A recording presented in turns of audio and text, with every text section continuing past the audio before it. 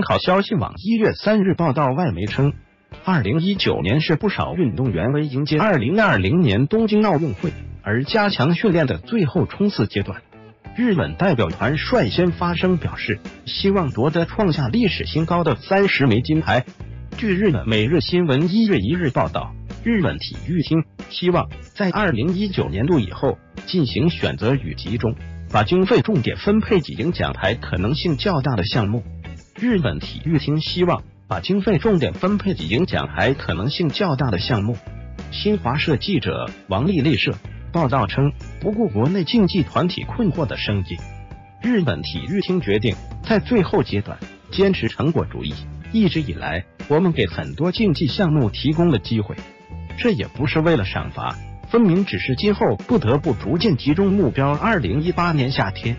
日本体育厅长官铃木大地透露了在最后冲刺阶段的考虑。里约热内卢奥运会结束后。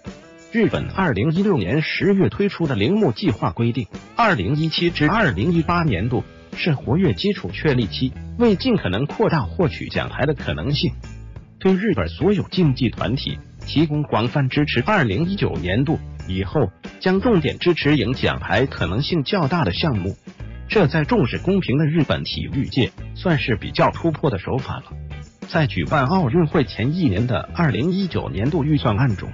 日本为提高竞技水平而列出的相关经费首次达一百亿日元，约合六点二七亿人民币，是二零一四年度预算额约四十八亿日元的两倍多。铁人三项运动团体判断，混合接力是最可能赢得奖牌的项目。新华社发刘艾伦社日本体育厅在二零一八年度内制定新的基本方针，有关今后的应有状态。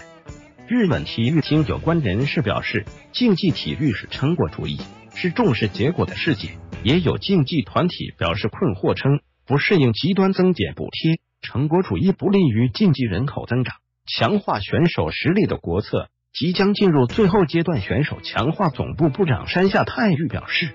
可能会被说轻率，但我们认为在东京奥运会上赢得三十枚金牌是可能的。今后的工作是选择和集中。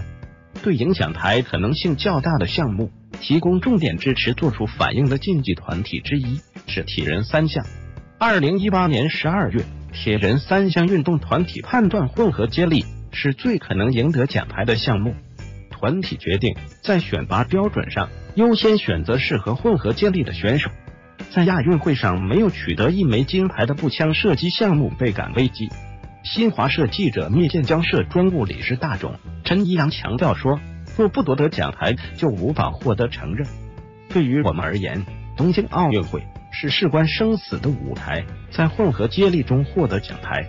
是我们做出的重点选择。”报道表示，截至二零一八年未取得成绩的日本竞技团体倍感危机，在亚运会上没有取得一枚金牌的步枪射击项目负责人不无懊恼的表示：“如果补贴减少。”则不得不减少远征的天数。东京奥运会结束后，